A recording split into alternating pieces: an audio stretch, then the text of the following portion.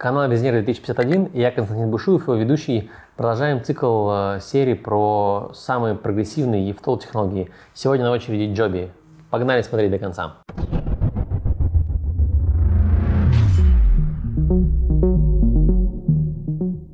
Джоби это самые продвинутые ребята, которые одними из первых вышли на биржу. Их оценивают уже в несколько миллиардов долларов. Они установили рекорд по дальности полета, бахнули 240 километров без подзарядочки. Много разных э, фишечек уже разработали. Сегодня подробнее про них. А все началось э, с основателя Джоби. Зовут его Джобен Певерт, который стал первым миллиардером в области ефтолов. Разумеется, финансовые успехи были бы невозможны без технических. В конце июля самолет Джоби пролетел без подзарядки 240 километров, установив рекорд дальности полета для электрических аппаратов. А в первую декаду сентября компания участвовала в испытаниях НАСА в программе Advanced Air Mobility. Привет, Вейлай. Привет, я Уэйлай. Я знаю, о чем ты думаешь, и у меня есть ответ на все твои вопросы.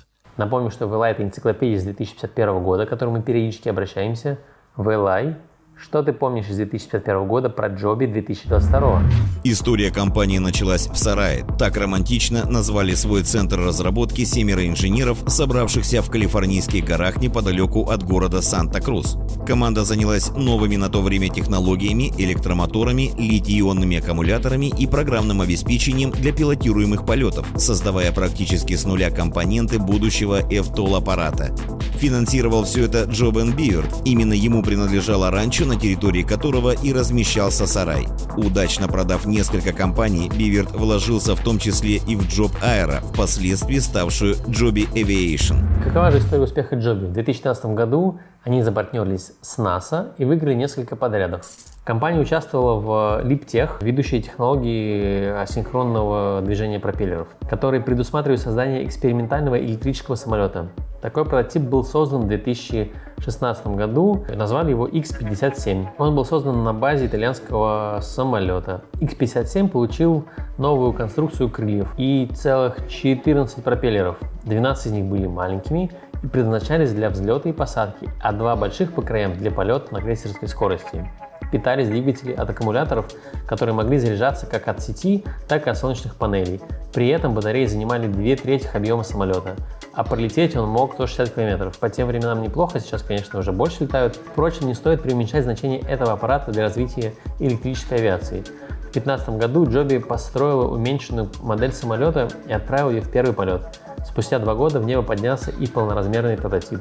В 2019 начались летные испытания первого серийного образца. Вейлай, Расскажи подробнее про режим невидимости, который Джоби примерял на себя в 2020 году. До 2020 года Джоби оставалась в режиме невидимки, блюдя секретность вокруг своих планов и разработок.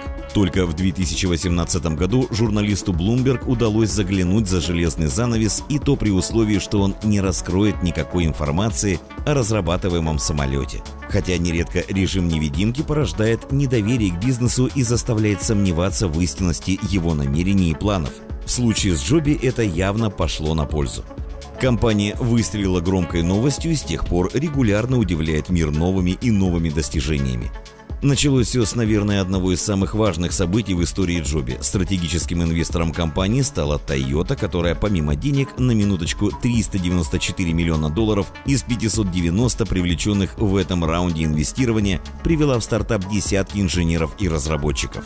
Они принесли компании понимание производственных процессов и возможность планировать строительство собственных мощностей для крупносерийного производства. С этого момента Джоби твердо становится на путь публичности. Публике представлена модель S4, а Джобин Биверт становится ключевым спикером на конференции Transformative Vertical Flight 2020, организованной Vertical Flight соцсети, объединяющим 6 тысяч членов по всему миру. А что же было такого значимого случилось в декабре 2022 года? В декабре 2020 года Джоби, первой из автол компании, получила одобрение летной годности от ВВС США. Это дало компании доступ к государственным испытательным площадкам, так что тесты летательных аппаратов пошли быстрее и эффективнее.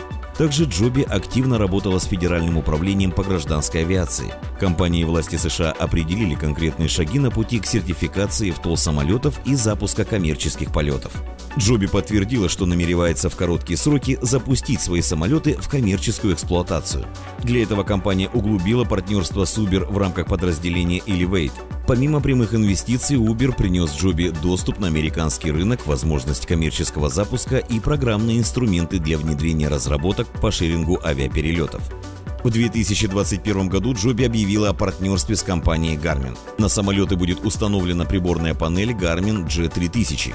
Самое время поговорить о том, что же мы вообще знаем об аппарате Джоби.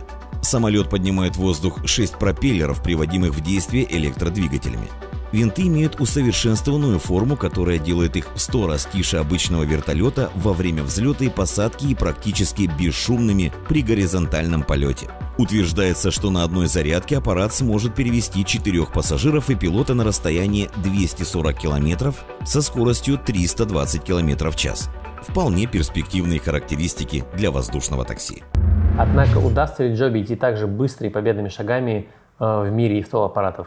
Все не так однозначно. Авария с участием прототипа Joby случилась после ряда успешных тестов скорости и высоты аппарата в середине февраля 2022 года. Об этом инциденте на удаленной летно-испытательной базе в Калифорнии компания сообщила самостоятельно в комиссию по ценным бумагам и биржам США. В результате расследования катастрофы стали известны подробности, которые способны затормозить сертификацию ЕФТОЛ аппаратов как в Европе, так и в Америке. Авария самолета с регистрационным номером N542AJ произошла на необитаемой территории в Калифорнии около 10 часов утра 16 февраля. Согласно предварительному отчету Национального совета по безопасности, на транспорте у Джоби произошел сбой компонента.